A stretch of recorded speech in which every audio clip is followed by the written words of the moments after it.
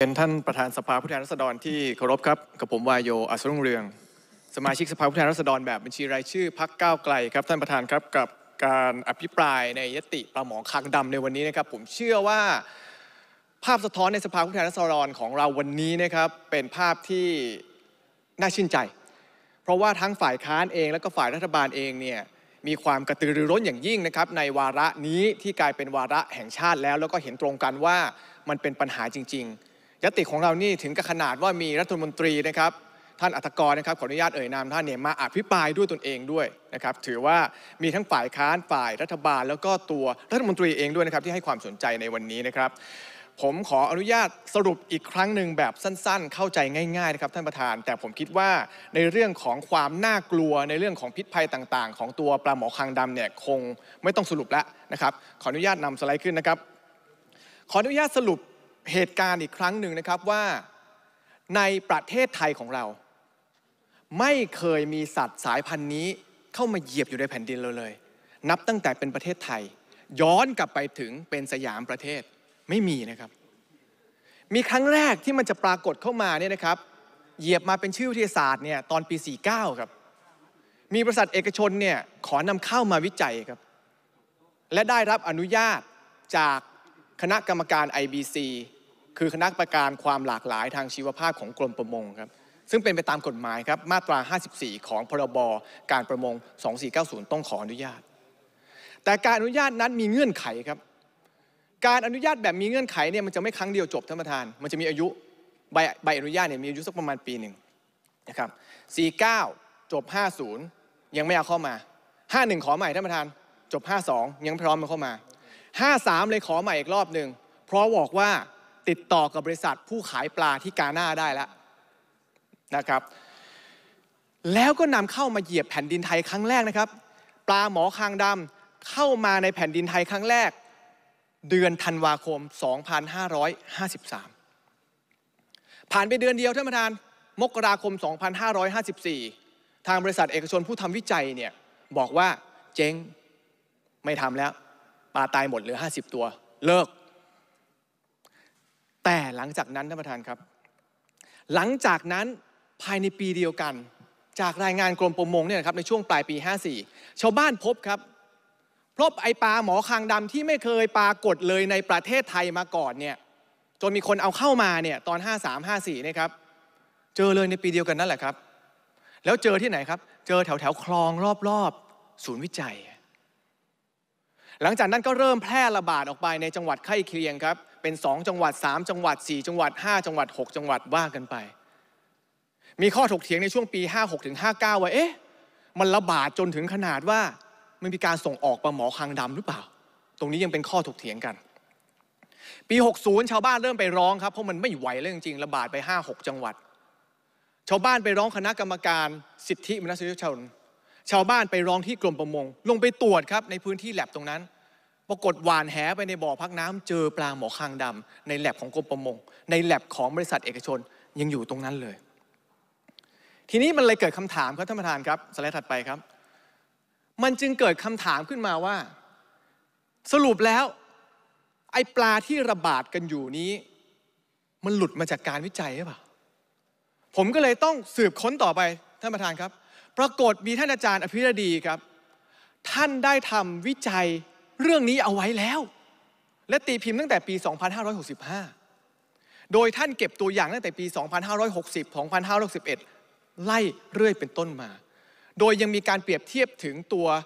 พันธุกรรมของปลาที่จับได้ ในบ่อพักในแลบของเอกชนตอนปี 60 ด้วย งานวิจัยนี้ชื่อว่าการวิเคราะห์เส้นทางการแพร่ระบาดของปลาหมอสีคางดำในเขตพื้นที่ชายฝั่งของไทย จากโครงสร้างทางพันธุกรรมของประชากร ผมก็ไปอ่านว่า เออเฮ้ย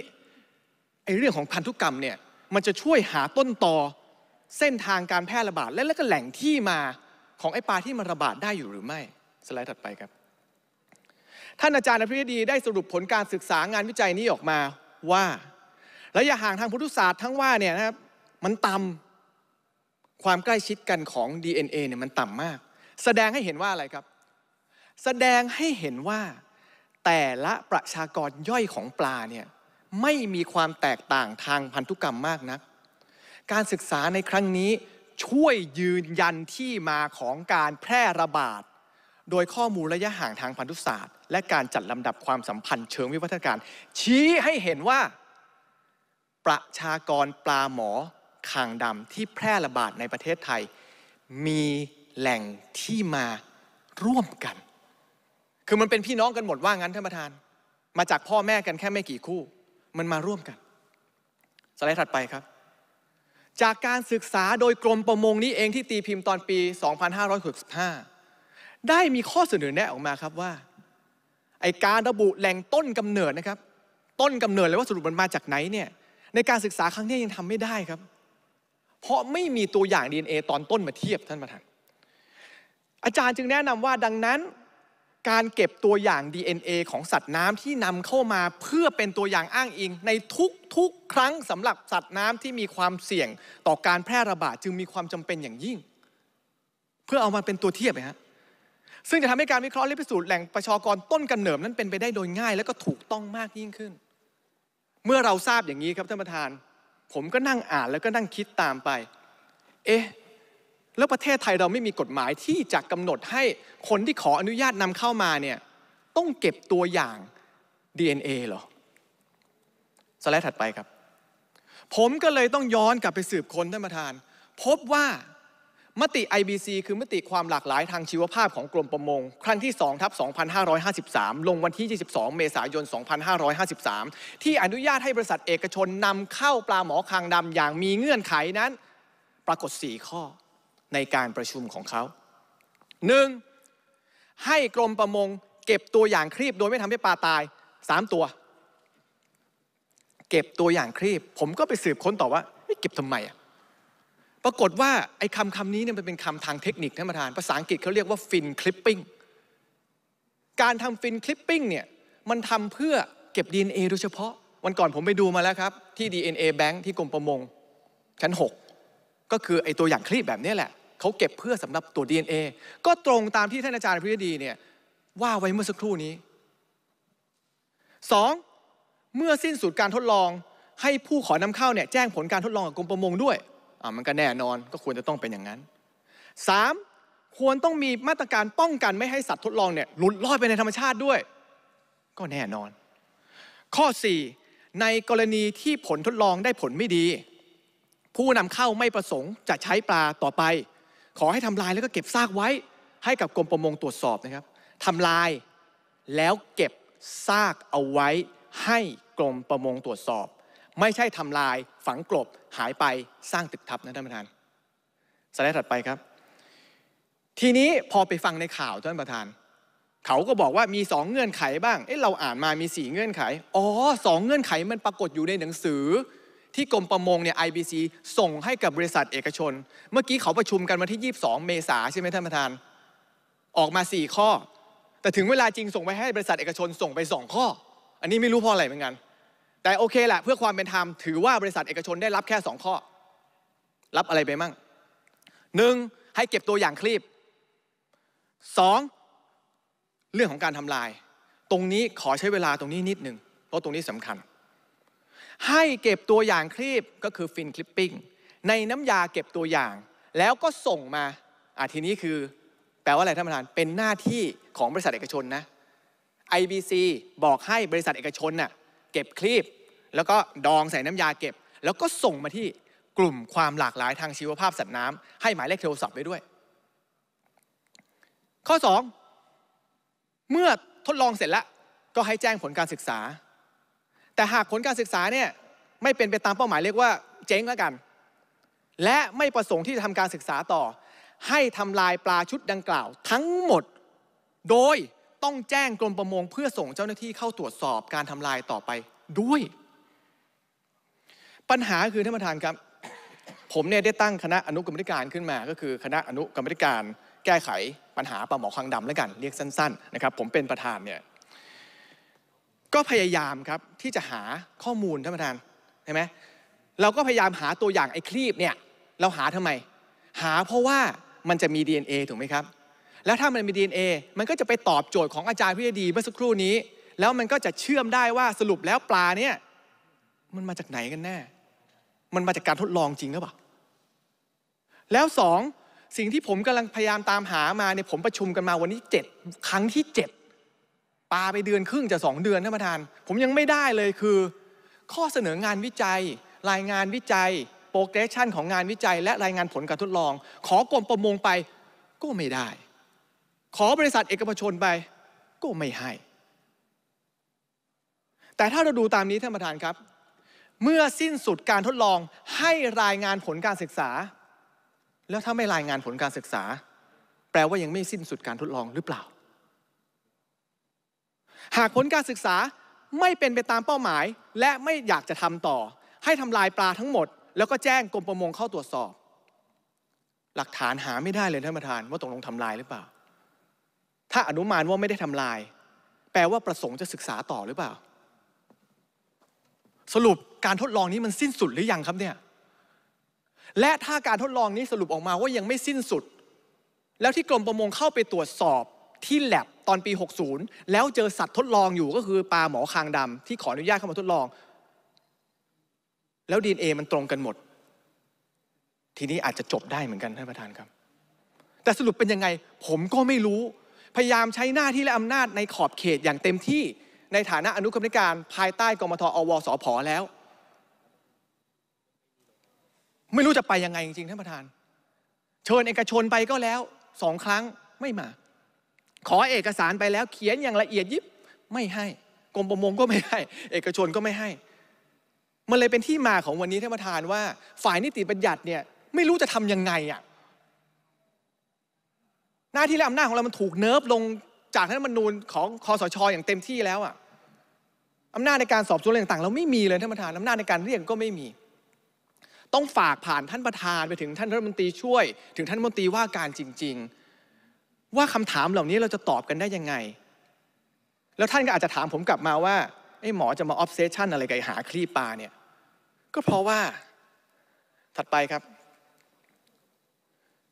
กฎหมายเนี่ยมันกำหนดว่า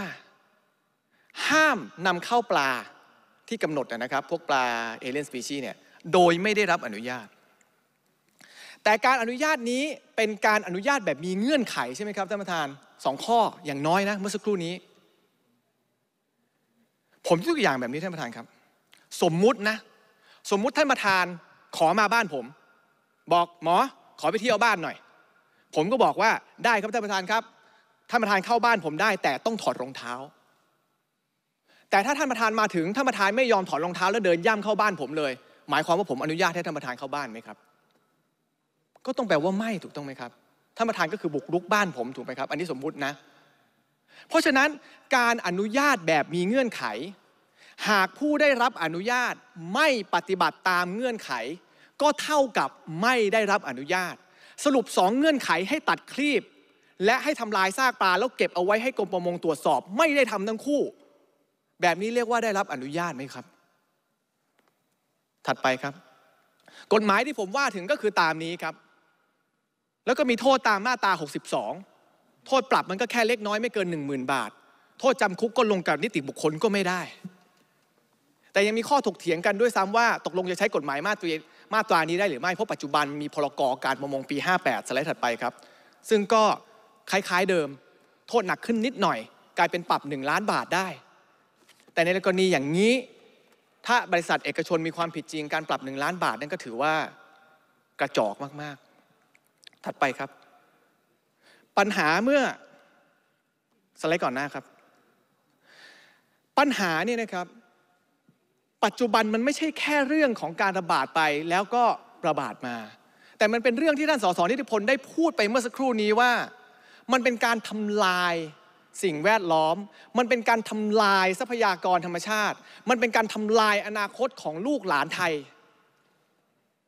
ทรัพยากรธรรมชาติที่สูญเสียไปของประเทศไทย ตีมูลค่าเท่าไหร่ครับ ปรับเมื่อกี้หนึ่งล้านบาทพอหรือเปล่า แต่องจริงก็ยังไม่มีเจ้าภาพ กรมประมงก็ยังไม่ดำเนินการใด ๆแต่มีกฎหมายนี้ครับ พรบส่งเสริมและรักษาคุณภาพสิ่งแวดล้อมปี 35 มาตรา 97 เขาบอกว่าใครทำลายสิ่งแวดล้อมเนี่ยมีหน้าที่ต้องรับผิดชอบชดใช้ค่าเสียหายให้แก่รัฐนะครับ ตามมูลค่าทั้งหมด ตอนนี้ทุกมาตรการที่ รัฐมนตรีเองก็ตามหน่วยงานต่างๆ เองก็ตามพยายามจะรับซื้อพยายามที่จะแก้ไขปัญหาต่าง ๆ เหล่านี้ ใช้เงินทั้งนั้นท่านประธาน เงินคือเงินภาษีของพวกเราและประชาชน ถ้ามันมีผู้ที่ควรจะต้องรับผิดชอบ เขาควรจะต้องเป็นคนจ่ายเงินนี้ แทนพวกเราทั้งหมด แล้วใครครับที่ต้องเป็นเจ้าภาพ รักษาการตามพรบนี้คือใครครับ คือนายกรัฐมนตรี และรัฐมนตรีว่าการกระทรวงทรัพย์ท่านประธาน จนถึงบัดนี้ผมยังไม่เห็นรัฐมนตรีว่าการกระทรวงทรัพย์ออกมาพูดเรื่องนี้เลยแม้แต่ครั้งเดียวสไลด์ถัดไปครับ ถึงแม้ว่าเราจะไม่สามารถหาหลักฐานครีบของปลาตั้งแต่ต้นได้ แต่ท่านประธานลองย้อนดูอีกทีนะครับ ผมจะจบที่สไลด์นี้ ประเทศไทยก่อนปี 53 ไม่เคยมีปลาเหมาคางดำ มาก่อนเลย เราไม่รู้จักปลาชนิดนี้ไม่มีแม้แต่ชื่อเรียกท่านประธาน เข้ามา4ี่หปีแรกยังเรียกชื่อกันมั่วซั่วไปหมดคนบางยังเป็นปลานินเป็นปลาอะไรกันไปมั่วซั่วกันไปหมด ปลายปี 53 คือธันวา บริษัทเอกชนนำเข้ามาเหยียบแผ่นดินไทยที่ยี่สารอัมพวาสมุทรสงคราม ต้น 54 บอกเลิกวิจัย ปลาย 54 เจอครั้งแรกในแหล่งน้ำตรงแถวแถวคลองตรงนั้นที่ยี่สารอัมพวา สมุทรสงคราม มันคิดเป็นอื่นได้จริงๆเหรอท่านประธาน งานวิจัยยังบอกอีกว่า ไอ้ที่มันระบาดเป็นแสนเป็นหมื่นล้านตัวเนี่ยประชากรปลาหมอสีคางดำที่แพร่ระบาดในประเทศไทยมีแหล่งที่มาเดียวกัน และมันเจอครั้งแรกที่ยี่สารอัมพวาสมุทรสงคราม คนเอาเข้ามาครั้งแรกที่ยี่สารอัมพวาสมุทรสงคราม บอกว่าเลิกวิจัยปี ต้นปี 54 เจอครั้งแรกปลายปี 54 มีเหตุอันควรเชื่อได้อย่างยิ่งท่านประธาน ถ้าเป็นคดีอาญาแล้วประชาชนฟ้องเองเนี่ยแบบนี้ไต่ยังไงศาลก็ว่ามีมูล แต่ตอนนี้จนถึงตอนนี้ยังไม่มีเจ้าภาพแม้แต่คนเดียว ที่จะออกมาต่อสู้เพื่อเงินภาษี ต่อสู้เพื่อสิ่งแวดล้อม ต่อสู้เพื่ออนาคตของลูกหลานของเรา จึงขออนุญาตเรียกร้องผ่านท่านประธานจริง ๆ ไปถึงผู้ที่มีส่วนเกี่ยวข้องทั้งหมด ช่วยรับภารกิจนี้จากสภาผู้แทนราษฎร ช่วยรับภารกิจนี้จากฝ่ายนิติบัญญัติไปปฏิบัติการต่อด้วยครับ ขอบคุณครับ